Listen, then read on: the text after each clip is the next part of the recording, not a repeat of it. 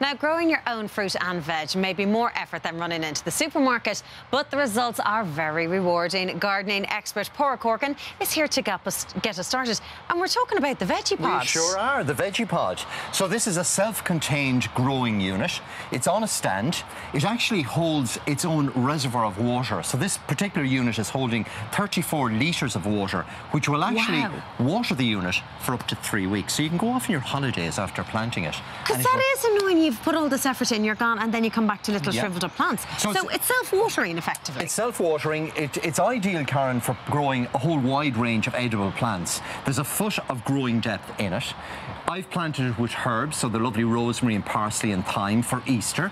We've also planted up a beautiful strawberries, some garden peas. You can use the peas, both the, the leaves and the actual the pods. We're going to plant it with tomatoes. We can also plant in some salad crops then, like lettuce plants, onions, carrots, all oh, the show edible us plants. then. Okay, so. Can you do, so what thrives in something like like this then? What have you Well, got the best well, chances of getting lovely veg All from? edible plants. What I would recommend is that you plant plants that you're going to use on a regular basis. So all your salad, things like radish, some of the lettuce leaves are perfect for it. Carrots, short stem carrots are perfect. I've planted in the peas. This is little Rossa red lettuce, Oh, yeah. which is going to be lovely. It'll actually be ready for harvesting within four weeks once we plant it into the Vegepod. And would you plant everything all at the same time initially when you first get it? Plant your entire container up. Okay. And then water it heavily. Now, I've used an organic based compost here, the, Bor- the Bordnamona Growise organic based compost. The unit itself, all the materials are food safe. So if you're really interested in growing organic vegetables, the Vegepod is, is a perfect solution. The other unique thing, Karen, which I love, is the cover sits down like that. So this will actually keep the bugs out. The ah. caterpillars, the green fly, the slugs cannot penetrate in through the micro fleece. And the fleece creates a micro environment where the plants will grow 50% faster.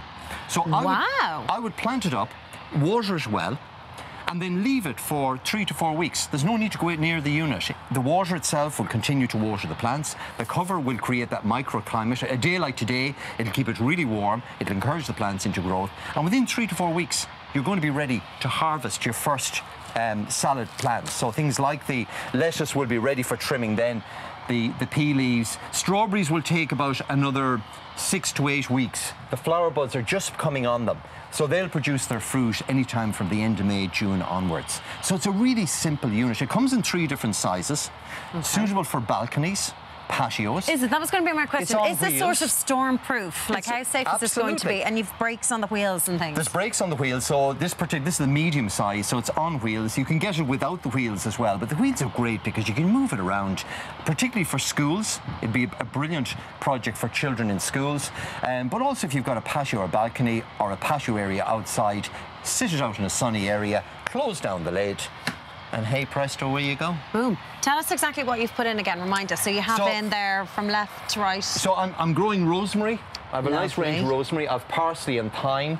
But any garden herb is suitable. Oregano, marjoram, any of the, the popular chives would be perfect. I've a row of strawberries, so that's going to give us pounds of fruit during the summer period. Pounds of fruit. How long will your strawberries take? A month as well? Yeah, no, it's going to take about six weeks to eight Okay. weeks for this for the strawberries. Okay. So we're looking at kind of the end of May, early June for them to to fruit. But the flowers will be coming on. The children will love those. Yeah. These are the sugar snap peas, so they're really sweet. You can eat. You can actually eat the shoots of peas, but you can also eat the pods then when they form.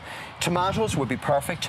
There's a great variety. This one here called Red Profusion which literally produces a profusion of fruit right throughout the summer. So you could pop one of those in.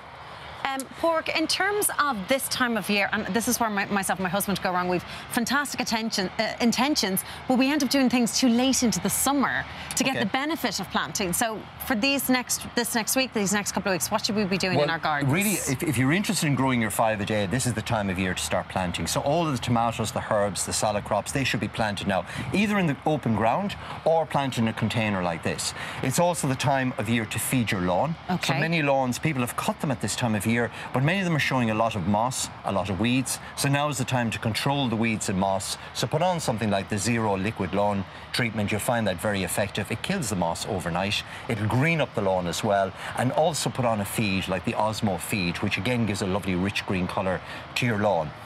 We're into the time of year for planting color. Mm-hmm. So think about Easter. Easter is going to be coming up in four or five weeks' time. So if you want a bit of color in window boxes, patio containers, all the pansies, the primulas, all of those can be planted at this time of year for a bit of color. Later Lovely. on in late spring, early summer, prune your roses. They Prune need to roses, be cut back okay. now. Put a feed on them, and that'll help them into growth and start putting on a little bit of application like the rose clear to keep them clean of any bugs or um, diseases that might might come about.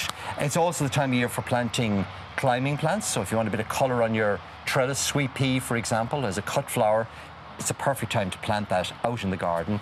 If you want something maybe for cut flowers during the mm. summer, something to cut for the home like dahlias or canna lilies or scented lilies, again, this is the time they're available in garden centres as bulbs or plants.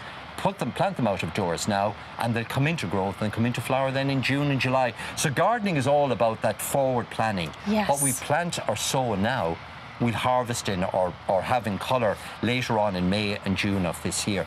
And of course, the sowing of seeds, all flower seed and vegetable seeds are planted at this time of year in Okay. late March, early April. Okay, I'm a mum, two young boys, three and four, like getting their fingers dirty, but something easy. What could I do? Well, this is this is a perfect project, a weekend project for you, particularly for children. Because remember, the kids, this unit is going to be at waist or, or chest high for them. It's perfect. It's clean material. You're using compost, so it's very clean to use. They're growing their five a day, like the strawberries, like the peas.